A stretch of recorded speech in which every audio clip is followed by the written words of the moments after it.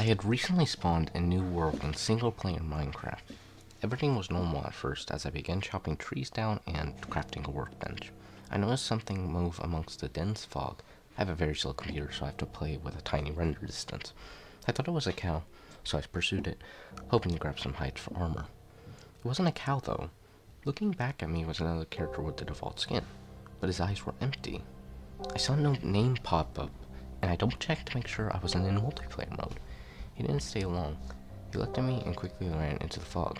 I pursued out of curiosity, but he was gone. I continued on with the game, not sure what to think.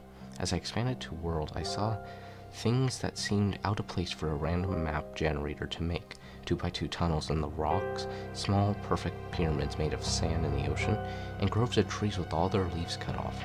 I would constantly think I saw the other player in the deep fog, but I never got a better look at him. I tried increasing my render distance to far whenever I saw him, but to no avail. I saved the map and went on the forums to see if anyone had anyone else had found the pseudo player. There were none.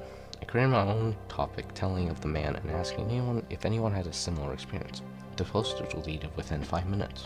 I tried again, and the topic was deleted even faster. I've seen a PM from the user Herobrine containing one word, stop.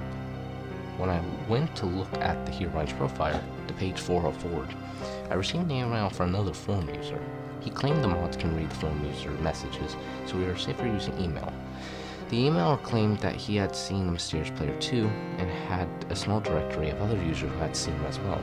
Their worlds were littered with obviously man-made features as well, and described their mysterious player to have no pupils. About a month had passed, about a month passed until I heard from my informant again. Some of the people who had encountered the mysterious man had looked into the name Hero Herobrine and found that name to be frequently used by a Swedish gamer.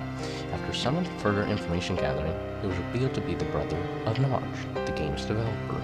I personally emailed Notch and asked him if he had a brother. It took him a while, but he emailed back with a very short me with a very short message. I did, but he's no longer with us.